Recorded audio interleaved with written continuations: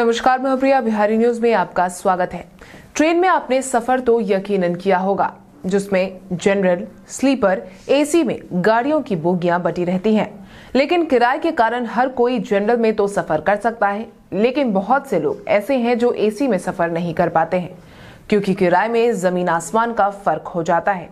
ऐसे में अगर आपको अब ये पता चले कि आप भी अब एसी में बैठ सकते हैं, वो भी जनरल टिकट के किराए पर ही तो आप भी इस मौके को गंवाना नहीं चाहेंगे।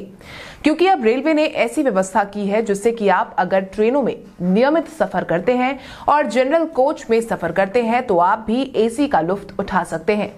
क्योंकि अगर सब कुछ सही रहा तो यात्रियों को कम पैसे में ही एसी कोच में सफ़र करने का मौका मिलने वाला है। रेलवे जनरल कोच को एसी कंपार्टमेंट में बदलने की तैयारी क्योंकि शुरू हो गई है। रेलवे लंबी दूरी की ट्रेनों में जनरल कोच यानी कि सामान्य डिब्बों को एसी डिब्बों में बदलने का विकल्प तलाश रहा है, ताकि उन यात्रियों को आरामदायक सफ़र प्रदान किया जा सके जो अधिक किराया देने में सक्षम नहीं है। टाइम्स ऑफ़ इंडिया ने सूत्रों के हवाले से बताया है कि इन सभी डिब्बों में 100 से 120 यात्रियों के बैठने की व्यवस्था होगी और आम लोग इन डिब्बों में आसानी से यात्रा कर सकेंगे। इसीलिए किराए को काफ़ी कम किया गया है। हालाँकि रेलवे ने यह भी साफ़ किया है कि यह डिब्बे पूरी तरह से आरक्षित होंगे और इनमें बंद होने वाले दरवाजे होंगे। यानी कि जनरल कोच में खचाखच भीड़ इसमें देखने को नहीं मिलेगी। रेल मंत्रालय में इस योजना पर मंथन सत्र की शुरुआत हो गई है। पहले एसी जनरल क्लास के कोच का निर्माण पंजाब के कुपरथला में रेलवे कोच फैक्ट्री में किए जाने की संभावना है।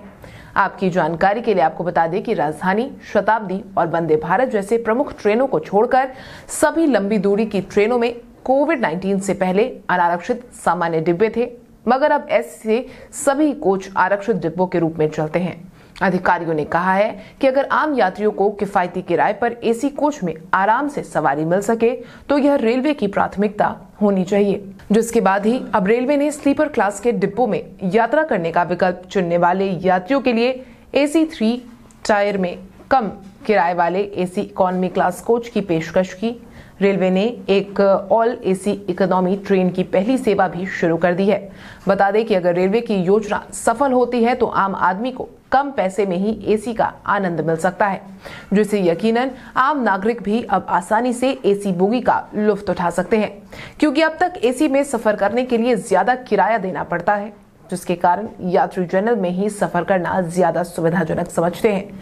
लेकिन अब अगर उसी कीमत में उनका सफ़र सुगम और आरामदायक हो जाए तो यह तो नेकी और पूछ पूछ वाली बात हो जाएगी।